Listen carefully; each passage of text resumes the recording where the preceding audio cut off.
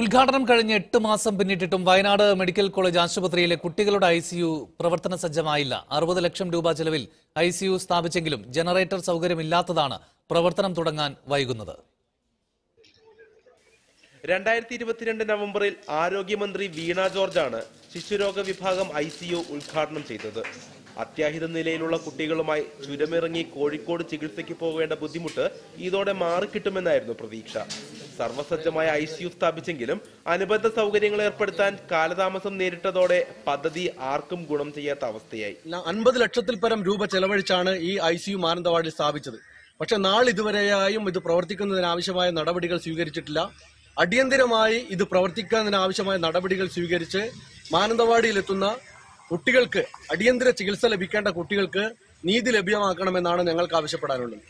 വൈദ്യുതി നിലച്ചാലും ഐ സിയുവിന്റെ പ്രവർത്തനത്തെ ബാധിക്കാതിരിക്കാൻ ജനറേറ്റർ സംവിധാനം ആവശ്യമാണ്.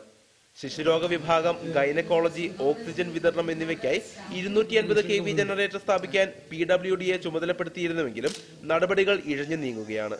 ഉദ്യോഗസ്ഥ തലത്തിൽ താൽപ്പര്യമെടുത്ത് ഐ സിയുവിന്റെ പ്രവർത്തനം തുടങ്ങാൻ നടപടികൾ കൈക്കൊള്ളണമെന്നാണ് നാട്ടുകാരുടെ ആവശ്യം. മനോരമ ന്യൂസ് വയനാട്.